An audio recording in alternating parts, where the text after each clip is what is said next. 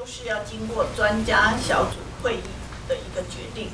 那刚刚记者朋友提到台南厂的案子，哈，那虽然相关的数据出来，但是它还没有经过专家小组这样的一个明确的一个鉴定，所以呢，呃，可能是事主他有他个人的考量，他所以他同意在二月十号他就进行了。